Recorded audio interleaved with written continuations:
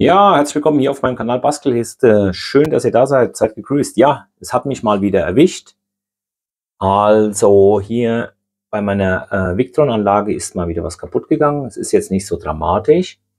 Aber als ich heute Morgen runtergekommen bin und wollte mal schauen, habe ich plötzlich festgestellt, dass hier die Display-Einheit spinnt.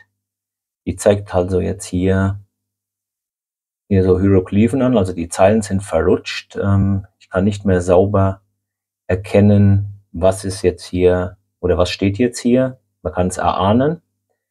Ähm, schön wäre es, wenn jemand in die Kommentare schreibt, ob einer schon so ein ähnliches Problem hatte hier mit dem Display.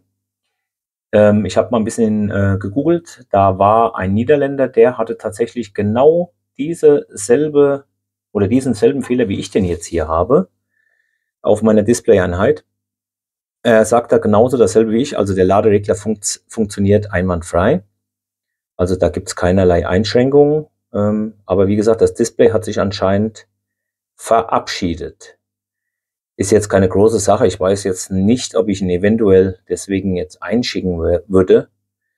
Aber es ist halt schade, ja, wenn man auf sein Display guckt und da stehen dann halt so unschöne Sachen, die man halt nicht richtig erkennen kann.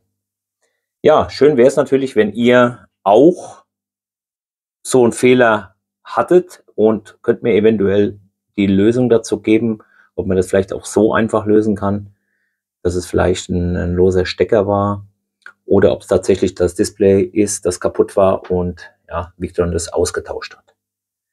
Ja, und dann würde ich sagen, macht's gut, bis zu meinem nächsten Video. Tschüss, bis dann.